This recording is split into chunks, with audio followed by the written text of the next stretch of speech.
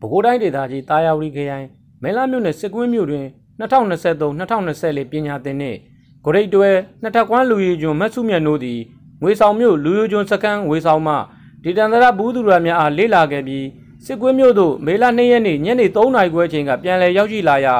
ဂုံပြူကျူဆိုခဲ့ကြကြောင်းသိရပါသည်။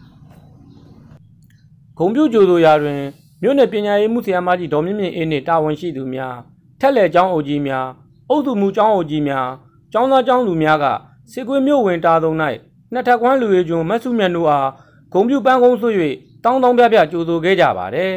။နှစ်ထပ်ကွမ်းလူရဲကျွန်းမတ်စုမြတ်တို့၏ပီတိစကားသံကိုလည်းအခုလိုကြားသိခဲ့ရပါတယ်။သမီးဒီကိုကတော့လူတွေကြုံရရှိအောင်ဆိုရင်စာပေဘက်မှာရောအားကစားဘက်မှာရောအထွေထွေကူစားဘက်မှာရောဒီဆရာဆရာမတွေကအစွမ်းကိုလူကြိုးစားရှာဖွေပေးခဲ့တဲ့ဟာတွေကိုဒီတော့က အစွမ်းကိုလေ့လာခဲ့ရတယ်လို့အားကစားဘက်ကိုလည်းနေ့တိုင်းလေ့ကျင့်ခဲ့ပါတယ်ရှင်ဒီလူတွေကြုံဖြစ်ဖို့ဆိုတာပေါ့နော်ကျောင်းသားတစ်ခုလည်းတော်လို့မရပါဘူးရှင်အထွေထွေကူစားဘက်မှာရောအားကစားဘက်မှာရောတော့ပါမယ်ရှင်အားကြောင့်ပြီးတော့အဲ့လိုမျိုးအထွေထွေကူစားအားကစားတွေပေါ့နော်ဂူးချစ်ချင်းဟိုထလုပ်မဲ့အစားပေါ့နော်ဂူးတရားပေါ့နော်ကိုကလူတွေကြုံဖြစ်ချင်းစိတ်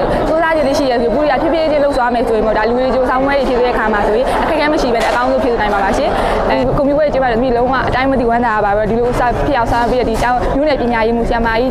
ဗမီမီအေးနဲ့ဒီအကျောင်းအထာရစီကိုရဲ့ကျောင်းဆရာမကြီးပြီးတော့ဒီအထာဏဆိုင်ရာတီးမှရှိရဲ့ဒီတာဝန်ရှိသူတွေရောဒီကျောင်းအထာဒီကျောင်းကဖြေကြားထားဧည့်သည်တော်တွေရောပြီးတော့ဒီအထာရစီကိုမှရှိကျောင်းဆရာဆရာမတွေပြီးတော့တမီးရဲ့တငယ်ချင်းတွေပြီးတော့တမီးကိုအားပေးခဲ့မိသားစုဝင်တွေပြီးတော့တမီးကဒီတကယ်ကျေးဇူးတင်ပါတယ်ရှင်ပြီးတော့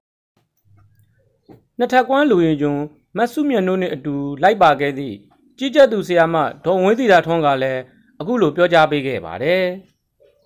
ကျမတို့ကြီးကြပ်သူတွေအနေနဲ့ကတော့ဟာပေါ့နော်ကလေးတွေရဲ့ဟိုဟာနေမှုထိုင်မှုစားရေးတောက်ရေးတွေစားစားရတွားရေးလာရေးတွေအေဂျင့်စာနေထိုင်ဖို့အတွက်စီစဉ်ဆောင်ရွက်ပေးရပါတယ်ရှင်ကလေးတွေရဲ့လိုအပ်ချက်အားလုံးကိုလိုက်ပါလုံဆောင်ပေးရပါတယ်ရှင်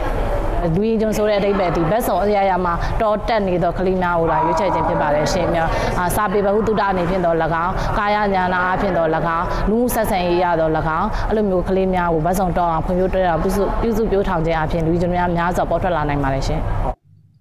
ဂုံပြူပွဲအခမ်းအနားတွင်နှစ်ထပ်ကွမ်းလူကြီးကျွန်းစုရရှိသူမတ်စုမြတ်တို့အားစစ်ကွင်းမြို့အုပ်ချုပ်ရေးမှူးဦးကြည်သာမြို့နယ်ပြည်နယ်ရေးမှူးဆရာမကြီးဒေါ်မြင့်မြင့်အေးနှင့်တာဝန်ရှိသူများက